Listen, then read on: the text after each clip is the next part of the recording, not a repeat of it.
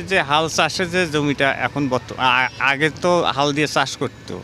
সেই জমিটা তো উর্বর বেশি হতো কৃষক, ওই যে মাটি বেশি উঠতো, জমিটা কাদো বেশি হতো। এখন একটু টিলের দিয়ে চাষ করে, উপর উপরে চাষ করে ওই জন্য নিচের দিকে মাটিটা আলগা হয় না। তার কারণে জমির একটু উর্বর শক্তি কম। এটা চাষ পা ইয়া গোবর সার ইয়ে টিয়ে দিয়ে ওটা আর কি পূরণ করে নেওয়া লাগে। আর আগে এতটা ছিল না। ও গোবর সার ইয়ে টিয়ে দিয়ে হালকা পাতলা ইউরিয়া ফসফেট ইলে দিয়ে আবাদ করতো, তখন আর কি ভালো হতো।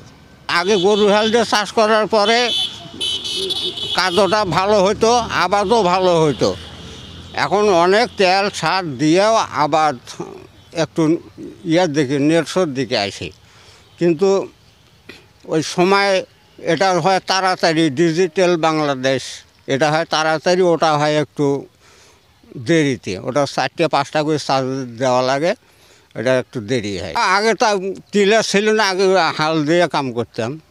হাল দিয়ে চার দিন, পাঁচ দিন, পনেরো দিন পর্যন্ত হাল খাটতো। এখন সেটা নাই। এখন ওই যে টিলের নামে দিলে এক দেড় ঘণ্টার মধ্যে কাম হয়ে যায়। জমিনে একটু উর্বর কমে, কিন্তু আগের যে শক্তিটা হাল চাষ করলে যে শক্তি একটা সেই শক্তিটা থাকে না। একটু এই এটা তেল তেল দিয়ে সার দিয়ে এটা সামলি নেওয়া লাগে সামলি নিয়ে আবাদ করা লাগে এই।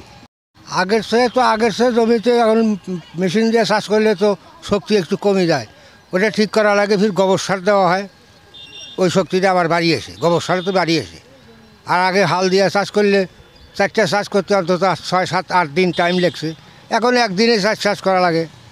এই জন্য কাদোটা একটু মোলাম বেশি হয়ে যায়। কাদো দিয়া ওই যে উর্বরা শক্তিটা কাদো, গোবর দিয়া তুলে নিয়ে আসা লাগে। তারপরে সার বেশি দেওয়া লাগে, সেচ বেশি দেওয়া লাগে। এখন হাল হাল নাই বললেই চলে। কষিতে দুটো একটা হাল আছে, ওইটা দিয়ে মই থই দেওয়া লাগে। টলি দিয়ে চাষ করিয়ে টলি দিয়ে মই হয় না। ওই গরু নিয়ে আসিয়ে মই দিয়ে সমান করা লাগে জমিটা মধ্যে একটা হাল ছিল। এখন আমরা একটা, একটাই হাল আছে, আর হাল নাই। তো হাল দিয়ে এখনও আমি জমি চাষ করি। হাল চাষ এখনও আছে, হারিয়ে যায় নাই, কিন্তু দেখা যায় গ্রামের মধ্যে একটা, দুটো এইরকম আছে। মাঝে মাঝে এলে জমি একটা জমি, মনে করো বাদ আছে, সেটা টলি ঢোকে না। এখন, তখন ওই যে আমরা হাল দিয়ে চাষ করি।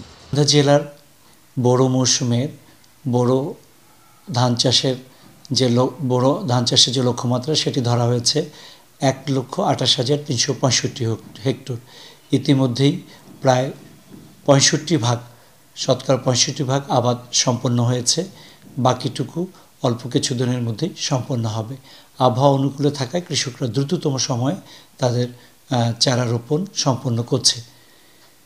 প্রতিটা ক্ষেত্রেই কৃষকরা এখন এই জমি চাষের, চাষসহ অন্যান্য প্রয়োজনে তারা কৃষি যন্ত্রপাতি ব্যবহার করছে, যার ফলে পুরনো দিনের যে গরু দিয়ে হাল চাষ করা, সেটি একেবারে উঠেই গেছে।